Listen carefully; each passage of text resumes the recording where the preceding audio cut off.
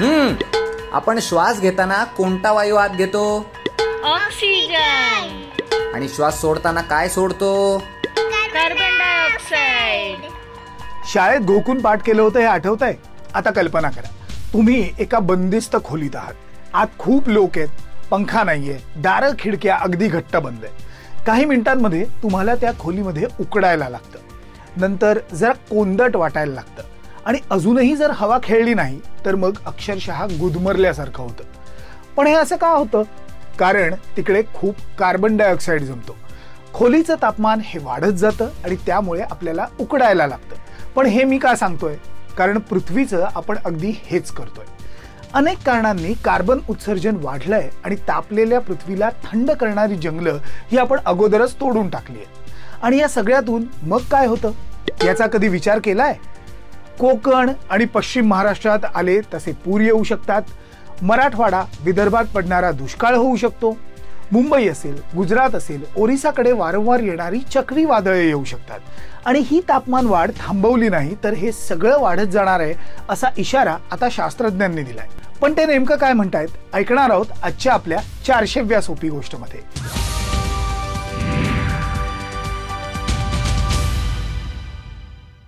गेल्या वर्षभरात आपल्या सगळ्यांनाच कोविडमुळे फटका बसला. पण त्याचवेळी पूर दुष्काळ उष्णतेची लाट चक्रीवादळ अशा अनेक घटना घडत होत्या. हवामानामधल्या या बदलांचा अभ्यास करणाऱ्या शास्त्रज्ञांनी आपल्या एका अहवालामध्ये काय म्हटलंय हे तुम्हाला माहिती आहे का? त्यांनी संपूर्ण जगाला धोक्याचा इशारा दिलाय. भारताला काळजीत टाकणाऱ्या सुद्धा अनेक गोष्टी याच अहवालात आहेत. आय पी सी सी म्हणजे intergovernmental panel on climate change या संयुक्त राष्ट्रांच्या या एका संस्थेने आपल्या अहवालात म्हटलंय हे शतक संपता संपता दक्षिण आशियामध्ये पाऊस खूप जास्त प्रमाणात वाढेल. उन्हाळ्यात सुद्धा पाऊस पडेल आणि एकूणच काय तर पावसाचं चक्र हे पूर्णपणे बदलून जाईल. पृथ्वीचं तापमान वाढल्यामुळे जमिनीतली आर्द्रता ही कमी होऊन दुष्काळ वाढतील. उन्हाळ्यामध्ये तापमान आणखीन वाढेल आणि पूर्वीसारखी कडक थंडी तर अजिबातच पडणार नाही. समुद्रामधल्या वाढत्या तापमानामुळे चक्रीवादळ असतील समुद्री वादळ असतील यासारख्या घटना या वाढत जातील. हिमालयामधले हिमकडे वितळू लागतील आणि समुद्राची पातळी वाढत जाईल. परिणामी पुराच्या घटना सुद्धा तितक्याच वाढतील.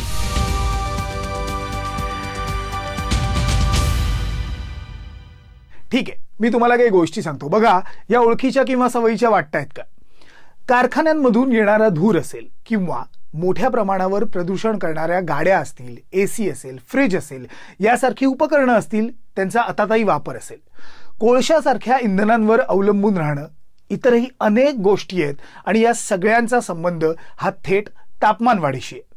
गेले काही दशकं तापमान वाढ आणि हवामान बदलांबद्दल चर्चा सुरू आहे. औद्योगिक क्रांतीपूर्वी जितकं तापमान होतं त्यापेक्षा फार तर दोन डिग्री इतकंच तापमान वाढ या शतकाच्या शेवटापर्यंत होऊ द्यायची यावर अनेक देशांचं एकमत झालं. पण ती एक पूर्णांक पाच डिग्रीवरच रोखता आली तर अधिक चांगलं होऊ शकतं असं ठरलं. यासाठी पहिलं कार्बन उत्सर्जन कमी करायचं. म्हणजे काय? तर जीवाश्म इंधनांचा जसं की कोळसा पेट्रोल डिझेल या सगळ्यांचा वापर जो आहे तो कमी करून सौर ऊर्जा किंवा त्यासारख्या इतर ऊर्जा स्रोतांचा वापर वाढवायचा असं सुद्धा ठरलं. येत्या काही वर्षांमध्ये कार्बन उत्सर्जनाची नेट झिरो पातळी गाठायची असं सुद्धा ठरलं. दोन हजार पंधरा साली पॅरिसमध्ये यावर करार झाला. पण भारतासारख्या विकसनशील देशांना इकडे एक मोठी अडचण आहे. बघा कार्बन उत्सर्जन घटवून पृथ्वीचा ऱ्हास रोखण्याचं हे शाश्वत उद्दिष्ट आणि दुसरीकडे औद्योगिक प्रगतीमधून लोकांचा राहणीमानाचा दर्जा उंचवायचा हे दैनंदिन आव्हान याच्यामधला समतोल हा नेमका कसा साधायचा? प्राधान्य हे नेमकं मग भारतासारख्या देशांनी द्यायचं कशाला?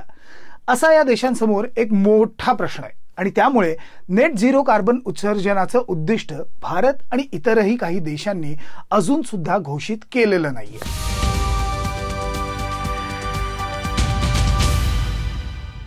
ब्रिस्टल विद्यापीठाचे प्राध्यापक जॉनथन बॅम्बर हे म्हणतात की काही वातावरण व्यवस्था ही लॉक इन झाल्या आहेत. म्हणजे काय झालंय? तर अडकलेल्या आहेत. सोपं करून सांगूया.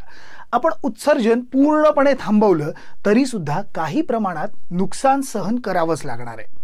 हा तापमान वाढीचा फटका कमी करण्यासाठी आत्तापर्यंत. बघा आत्तापर्यंत वेगवेगळ्या देशांनी काही पावलं उचलली आहेत. आता कोणी काय केलंय? तर काही युरोपीय देशांनी दोन हजार पन्नास पर्यंत आणि चीनने दोन हजार साठ पर्यंत नेट झिरो कार्बन उत्सर्जन पातळी गाठण्याची घोषणा केली आहे. म्हणजे काय? तर जितकं कार्बन उत्सर्जन होईल तितकंच पुन्हा एकदा शोषून घेण्यासाठी उपाययोजना करायच्या. यातलं सगळ्यात महत्वाचं पाऊल म्हणजे वृक्षारोपण. आता ते का? कारण सोपं आहे. कारण काय? तर झाडं कार्बन डायऑक्साईड शोषून घेतात.